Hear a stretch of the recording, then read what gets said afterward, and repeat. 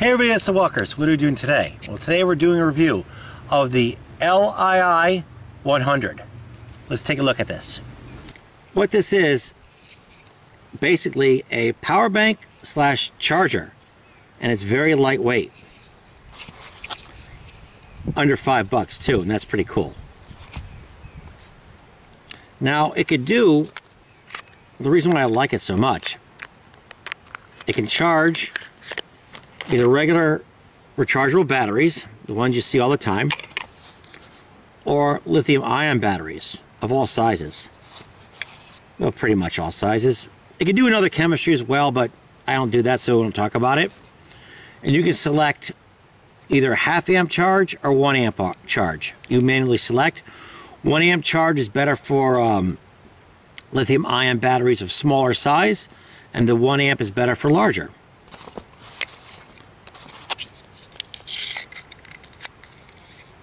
This is the power bank function shows that this battery is full. We um, we solar charged this battery earlier today, and we'll take a look at that as far as the charging part goes.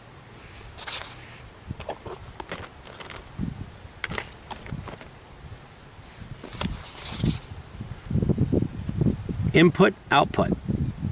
So we'll put in the core up. Output, by the way, is one amp. It's showing um, five 5.1516 volts. That's just fine.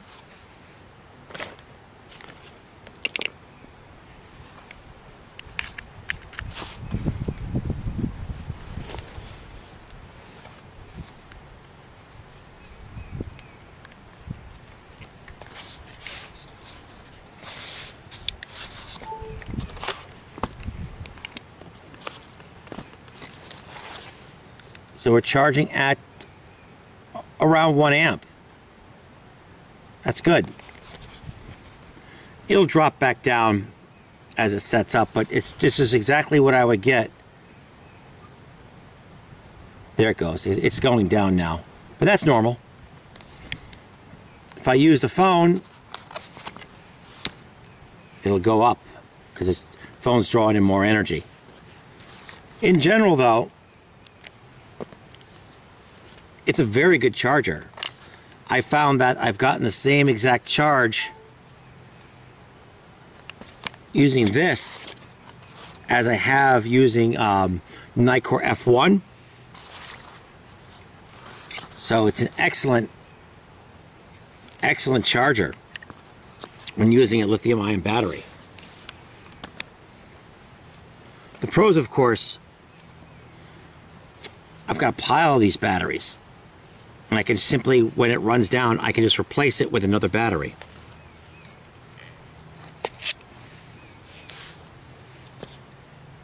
Let's try to charge something else.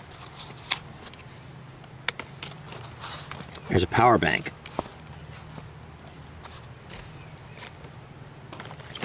Comes with this cord right here. It's a nice cord.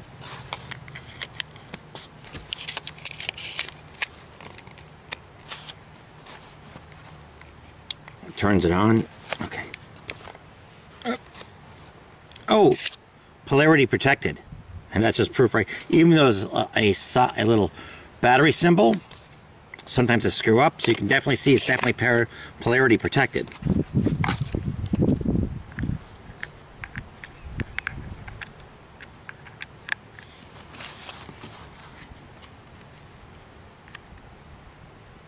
There we go. So it's charging um, this panel. Actually, it's not a panel. It's a power bank with a solar panel built in at its maximum rate. Excuse me. Which is um, 5 volts at 1 amp. That would be its maximum rate. Of, and it's doing it pretty darn good.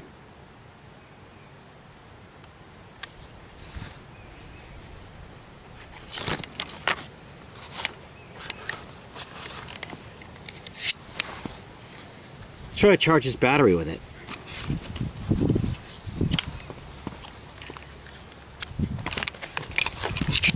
Pop this right in.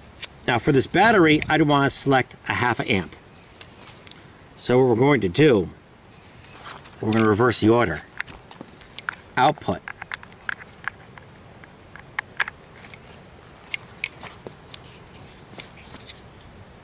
Input. Oh. There we go. Selection, half an amp. It's then choosing um, the 1.2 volt. And there it goes. It's now charging the battery. It automatically can select the proper um, the proper setting. Has a, has a detection on that. Let's try one thing to show you.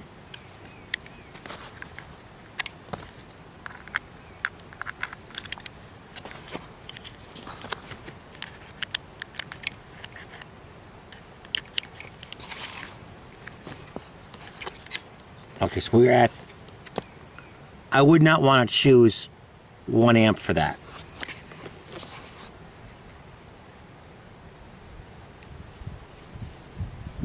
Give that a moment.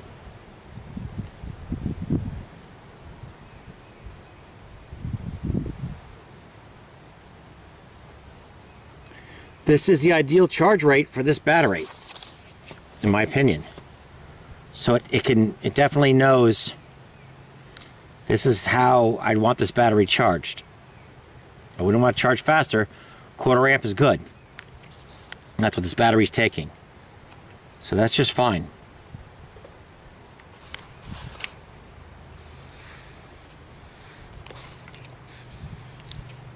Let's try this. Um, this battery is actually full, but we'll see what we get. Well, not totally full, but it's pretty close to full. So it's going to charge it. We'll select 1 amp.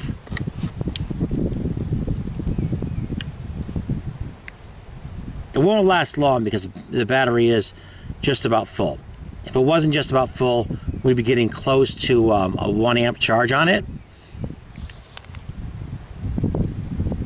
And I can tell the battery is just about full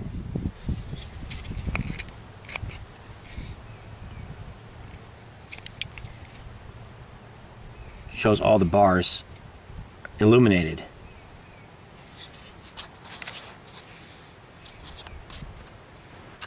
How does it work for solar? Let's check. So we're using the LII100 to charge up this uh, 18650 battery in camp.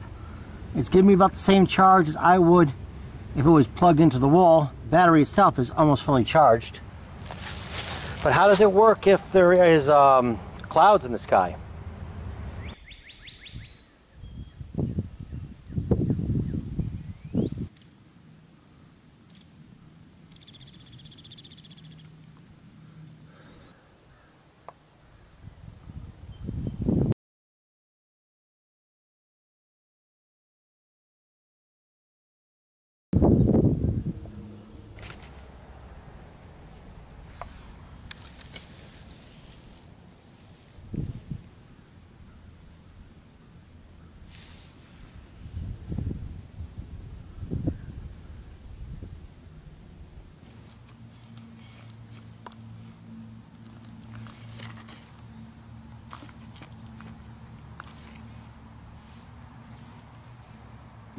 Here's a charge error with a very small panel.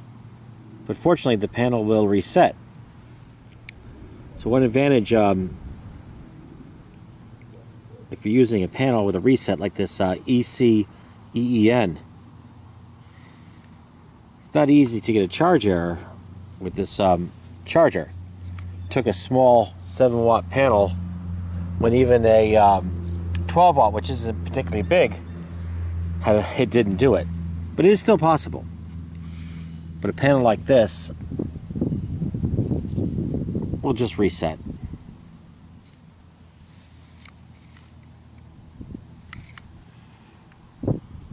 It's not a bad rate of charge either for um, late day sun, early spring. And it worked just fine. Um, as you've seen from the video, there's a potential charge error. Using a smaller panel on low light conditions, a larger panel, I didn't have many charge errors. So keep in mind, if you want to use this for solar and you have a smaller panel, make sure you have a panel that can auto correct for charge errors.